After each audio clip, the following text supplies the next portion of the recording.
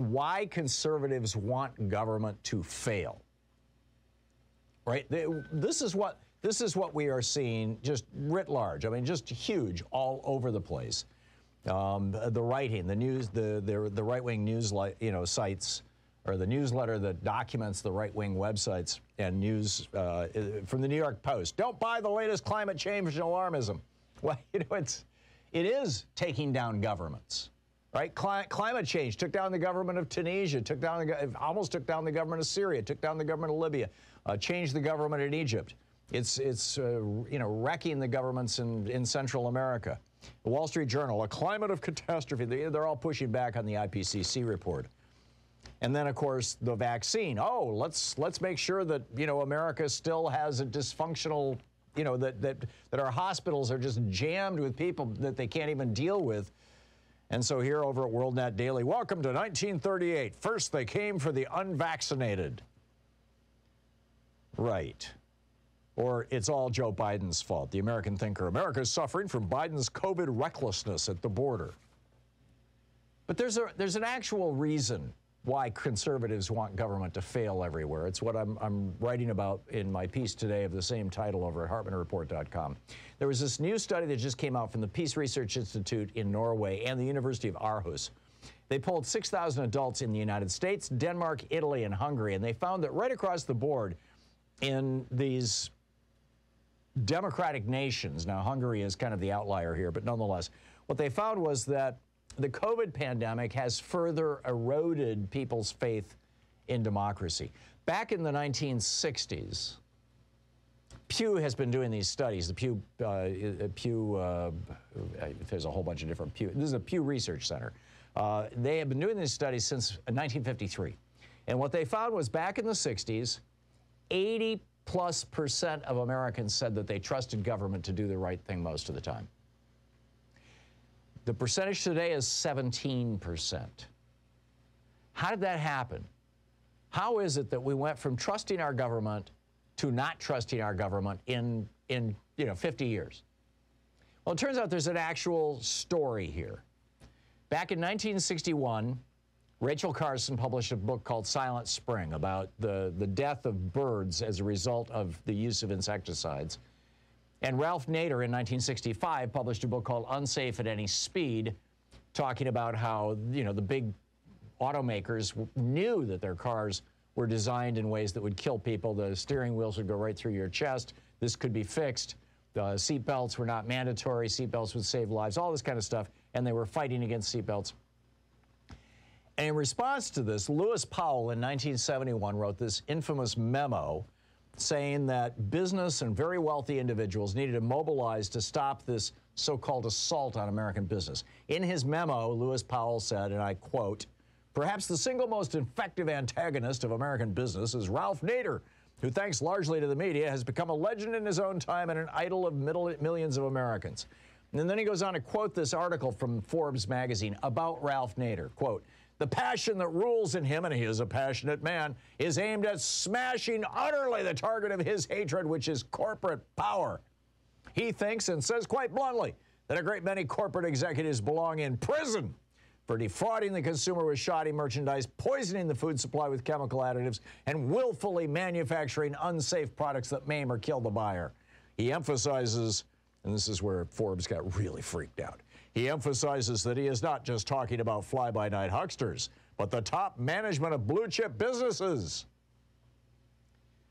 Lewis Powell then in the next paragraph says, This is a frontal assault on our government, our system of justice, and the free enterprise system.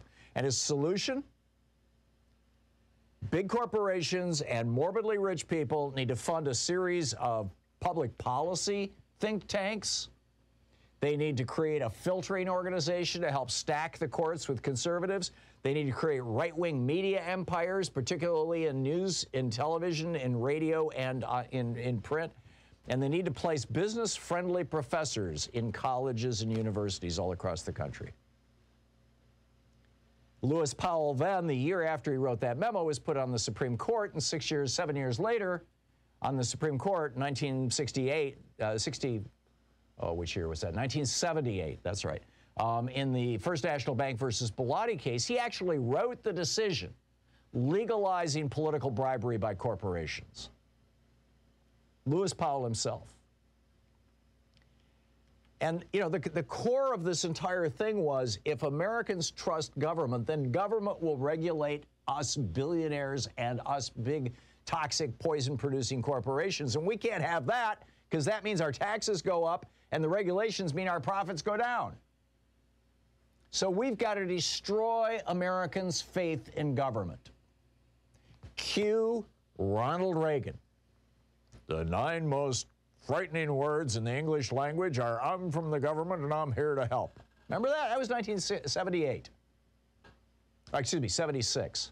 And of course, in, uh, excuse me, 86. Boy, what a day for years. Um, in any case, that was 1986. He, and in 1981, January 20th of 1981, when Reagan was sworn in, you know, he came right out and said it. He said, government is not the solution to your problems, government is the problem. And now we have been subject to 50 years of this, well, 40 years of it in a big way, of being told that government is the problem, you can't trust government, government bureaucrats can't do anything right. Reagan's, you know, favorite, one of his favorite sayings, I've heard it literally a thousand times repeated since, since Reagan said it from other people, is, you know, there are no good people in government. If there were smart people working for the government, they would leave the government and take a higher paid job in private industry.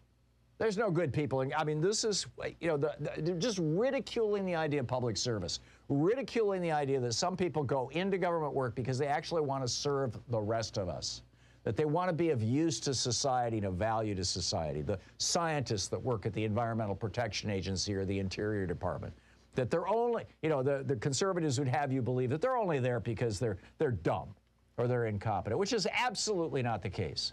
Some of the best scientists in the world work at the National Institutes of Health and the Centers for Disease Control, for example. Government jobs. But 40 years of this mantra has led us now to the point where we've got the governors of Florida and Texas saying, government is so terrible, we're not going to let local governments protect your children from a deadly virus. This is where this is like the, the, the logical endpoint of this insane ideology. And now we've got an election coming up in 2022.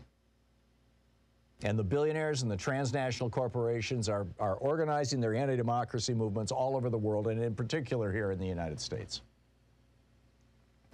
And the question is whether Joe Biden and the Democrats in Congress can make it through right? They just passed this $3.5 trillion uh, uh, re- reconciliation bill. Oh, they didn't pass the bill. They passed the, the, the, uh, the naked framework for the bill out of the Senate.